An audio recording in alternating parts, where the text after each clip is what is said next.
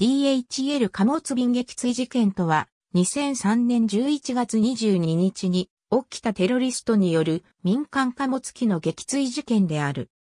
事故機のエアバス A300 バイト4から203回緊急、着陸後の乗員機長は、副操縦士よりも総飛行時間が3300時間多く、その半分以上は A300 での飛行であった。副操縦士の総飛行時間は1275時間で、航空機関士は13,423時間の飛行経験があった。2003年11月22日、DHL 社のエアバス A300 バイト4から200回、貨物機がイラクバグダードを協定世界時6時30分に離陸した直後、左ウィングチップに携帯式地対空ミサイルの直撃を受けた。ダメージを受けた主翼は炎上し、油圧制御系統は全損した。離陸に際して、左主翼外側の燃料タンク 1A は満タンになっていたため、気化した燃料による爆発は起きなかった。ジェット燃料は 1A 燃料タンクが破壊されるにつれ、漏出していった。内側燃料タンク1にも損傷は及び、燃料が漏出した。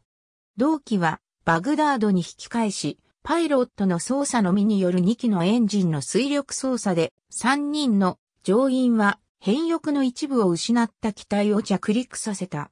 主翼への大きなダメージ、油圧制御系統の全損、安全な着陸速度を上回る速度、準備の整っていなかった地上滑走路といった条件にもかかわらず、無事に着陸した。パリスマッチ市のリポーターは、DHL 機を攻撃したフェダインの民兵部隊と共にいた。同氏のジャーナリスト、サラ・ダニエルは、非公開の情報源から顔を隠した民兵が DHL の A300 機に対してミサイルを発射している映像を入手したと明らかにした。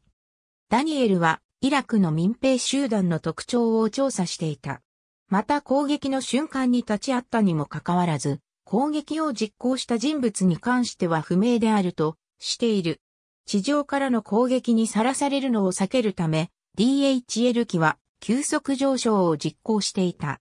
高度約8000フィートで、休憩34ストレラー3が左ウィングチップに命中した。弾頭は動翼と構造を損傷させ、火災を引き起こした。三重の油圧システムは油圧を失い、飛行を制御することができなくなった。機体は1985年8月12日の JAL123 便と同様、ローラーコースターさながらの急速な機種の上下動を繰り返した。機長は JAL123 便や1989年の UA232 便と同様、エンジンの水力調整のみで垂直方向、速度そして高度を修正し、両エンジンの水力を左右非対称に変えることで水平方向を制御し、機体を旋回させた。航空機関士は、通常は油圧で行う着陸脚下下を重力落下で実行した。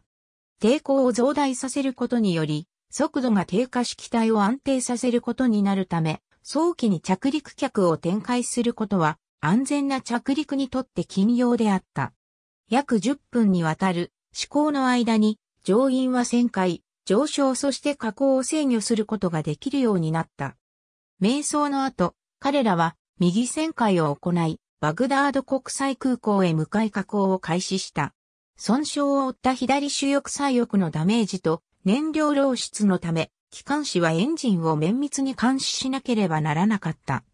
生還には、両翼のエンジンの正確な制御が不可欠であり、1万1左翼タンクからの燃料供給が失われた際には、燃料を右翼から供給しなければならなかったからである。機長と副操縦士は 33R 滑走路への最終アプローチを開始した。視界は極めて良好であり、機長と副操縦士は降下を制御することができた。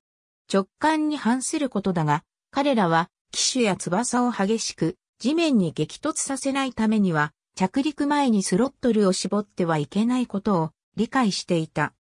約400フィートで乱気流により機体はバランスを崩し、右側に傾いた。水力補正によりロールは制御されていたが、機体は滑走路中央線を外れて着陸した。機関士は直ちに逆噴射装置を全開にしたが、機体は滑走路から逸脱していった。その後、機体は不正地に一掃し、砂煙を巻き上げ、さらに鉄条網を引きずりながら、1000メートルオーバーランし、停止した。乗員たちは、ヒューゴー・ドンバージ記念賞を受賞した。これは、機体、または乗客を守るために際立った行動をした、あるいは、将来の航空安全に顕著な貢献をした航空機搭乗員に対して授与される賞である。表彰は年次で行われるが、推薦のみであったとしても顕著な名誉とみなされる。航空安全財団は、航空安全における航空安全財団プロフェッショナリズム賞を乗員たちのイラクバグダード離陸後のミサイル攻撃後に機体を安全に着陸させた並外れた操縦技術に対して授与した。2006年5月、機長はエアバス社のテストパイロットアルマンド・ヤーコブと共に王立航空協会トゥールーズ支部において飛行制御不可能な A300 を成功裏に着陸させることと題した講演を行った。事故調査委員会によると DHL 機は攻撃された後、左主翼の一部が剥がれ落ち、桁は折れる寸前の状態だったという。さらに、そこから漏れる燃料や油によって火災が発生していた。主翼と下部貨物室の深刻なダメージに加えて、地表の岩くずを吸入した2機のジェットエンジンは破滅的にひどい状態であった。ODLL 機はすでに長年使用されてきたこともあり、登録を抹消され二度と飛行することはなく、今もバグダードに置かれている。現在はパシフィックアイロモーティブコーポレーションに所属している。フランス人女性ジャーナリストは目前に言いながらテロリストの行為を制止しなかったと世界中から批判されたが、彼女は銃を持ったテロリストに囲まれたら誰だって恐れて止めることなんかできないとテレビのインタビューなどでコメントした。ありがとうございます。